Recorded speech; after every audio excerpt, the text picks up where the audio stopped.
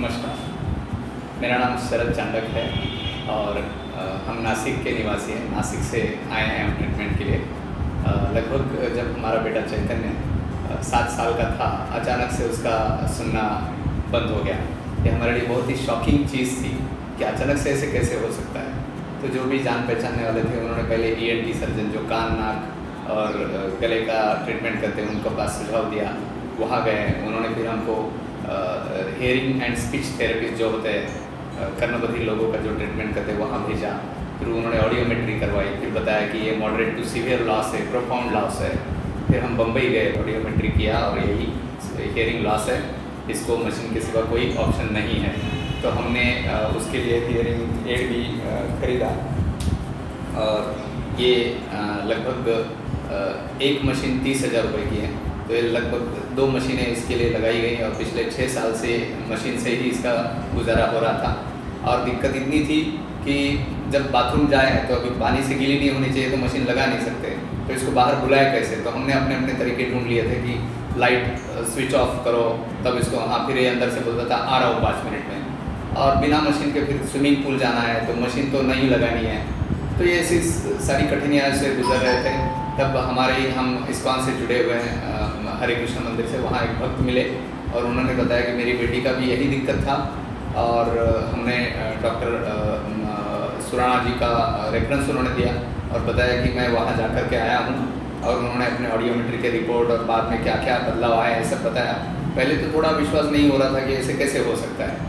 तो हमने, चलो एक बार जा कर के देखते हैं, ये सोच कर के आए यहाँ पर फिर इन्होंने पहले भी उसी अंतर से कि इसको अ, अ, ऐसा खड़ा करके इसको पीछे से आवाज़ देने की कोशिश की अलग अलग अंतर से पहले दस फीट से पाँच फीट से दो फीट से फिर जब एक फीट इसके पास आके जो से कान में जब इन्होंने आवाज़ दी तब ये जान पाया क्योंकि मशीन नहीं लगाई हुई थी तब ये समझ पाया कि कोई मुझे पीछे से आवाज़ दे रहा है।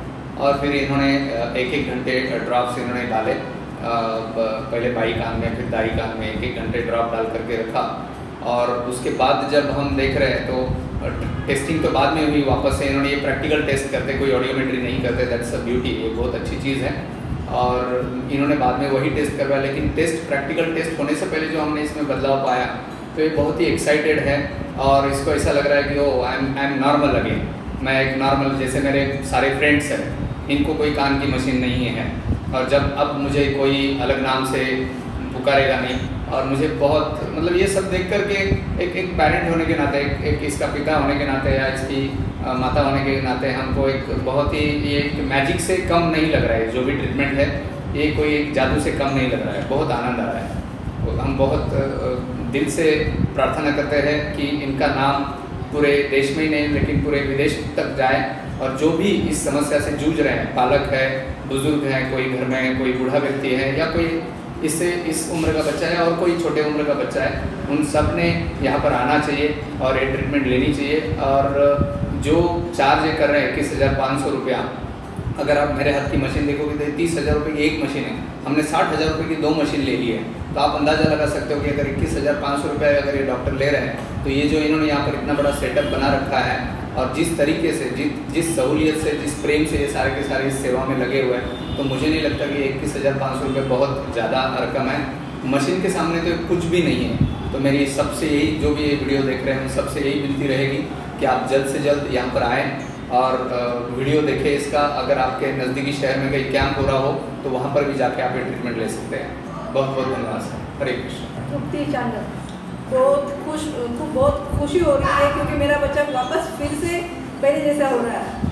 मुझे तो बहुत ही अच्छा लगा। आप आप देख सकते हैं कि जैसे अभी सर बात कर रहे हैं और ये मशीन इसके दोनों भी कान में है।